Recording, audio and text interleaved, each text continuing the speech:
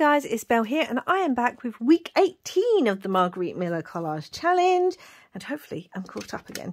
Um, this week, oh, firstly, uh, I will leave links down below to Margarete Miller's Etsy store where you can purchase the challenge um, from and to her YouTube channel and um, I have a playlist both of last year's and everything I've done this year if you want to check that out if you haven't seen any of my previous ones. Anyway let's get started. Um, so this week there is no memory keeping. The last two weeks I've done some memory keeping collages as part of this challenge which has been lots of fun. But this week there's no memory keeping. So Week 18, something that emits heat. I have this image of the sun. It's from my um, from the Apothecary sticker book, uh, which I will leave the links down down below because I do have a flip through of that. A path or a road. So I have this page out of a magazine. If you look here, there's a path in this image. And then the next thing is something that spl splashes. There's this beautiful fountain. So that splashes. So I'm going to use that. White space. So we'll leave some white space somewhere. That'll be difficult, but we will do it.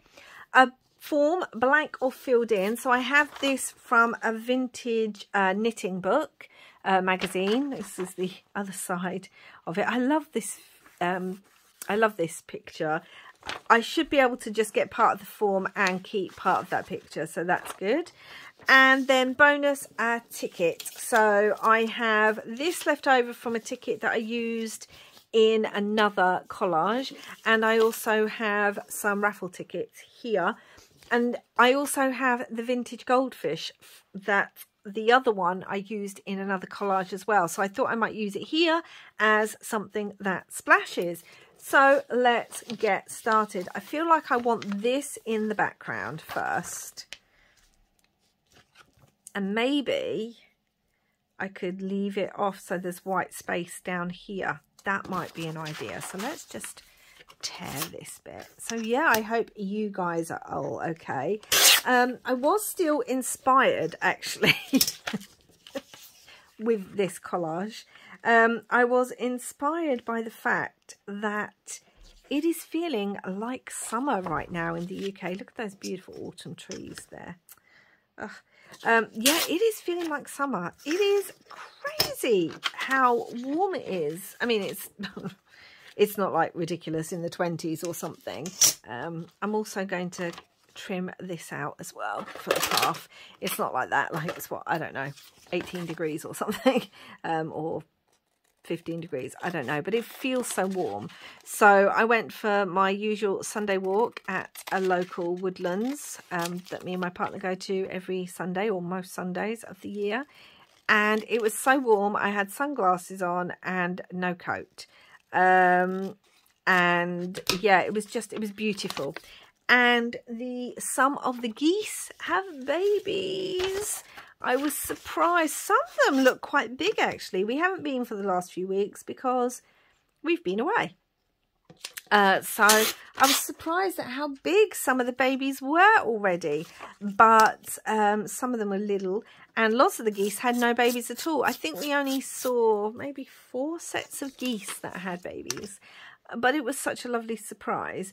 The unpleasant surprise was the fact that all the yucky flies are out, like the big um, ones that can sting and bite. Oh, I didn't like that because of the lakes. They can be around. And, oh, I didn't like that at all. We don't get any of that in the winter and the autumn. Um, so yeah, that was a bit like, no, not going that way. And it was super flooded, which I was also very surprised about. But, um, yeah, so I'm going to put that there like that. Because I don't want to cover up the, um, what's it called? I mean, I could cut a bit more off down here so we could get a little bit more, but this is really pretty. Yeah, but to see the little babies, oh my gosh. And we take, um, wild bird food that's specifically for swans and geese and things like that. It's got vitamins and that added.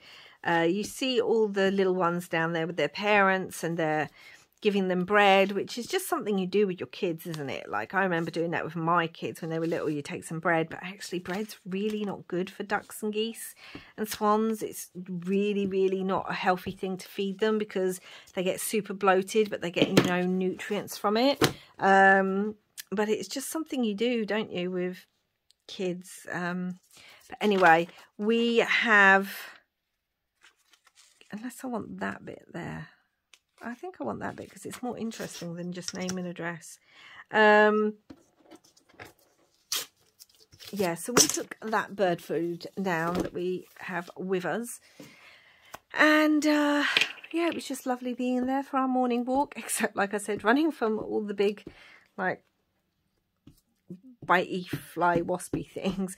But the pollen as well. I felt like I was in some sort of Shakespeare or fairy uh, fairy like like the fae the she um, fairies because all the pollen the white fluffy pollen um, from like the dandelions and that it was just floating in the air. It looked like it was snowing. That's how much pollen there was which is a nightmare for my partner who has hay fever because that is not what he wants. Um, and it was all getting in the car and everything uh, but I'm going to cut this out a bit more. Not super close, but a bit more. Um, but it was magical as well. It was magical for me because I don't get hay fever. But there was just so much of it. I haven't seen that much. Well, I can't remember the last time I saw that much pollen in just floating. And it was carpeting the floor um, in a way that literally made it look like snow, but fluffy snow. It was, it was quite magical. Um, and yeah, all the geese and the ducks and their babies. And yeah, it was just lovely. I think I'm going to put that up there, but we still need to get the path on here, which I have this one, which can actually go over this photo because it almost looks like the same photo. But you can still see the bits with the um, fountain. So I thought I'd be inspired by the way it's feeling all summery here at the moment and do a summer S kind of inspired collage. Um, yeah. And it always reminds me of, you know, taking the kids to, um, I do like these tickets, like the, these blue tickets uh, it reminds me of taking the kids to when you take them to the um oh what they called uh, houses and places like that um all the historical places in the summer and they're off for the summer holiday and you're like right pack up we're making a picnic. We're just going to get in the car and we're going to drive to some national heritage spot or um some other point of historical uh, interest.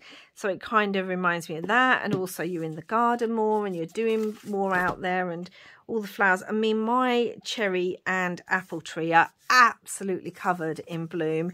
The pear and um, plum tree, they were in blossom a few weeks back, but the apple tree is absolutely covered in these stunning pale pink blossoms and it just makes me smile when I look out of the window. Um, I'm going to put that up here, the tickets. Yeah, I thought that one worked better with the colour scheme. And then I'm going to use this sticker because it is the sun and it reminds me of summer.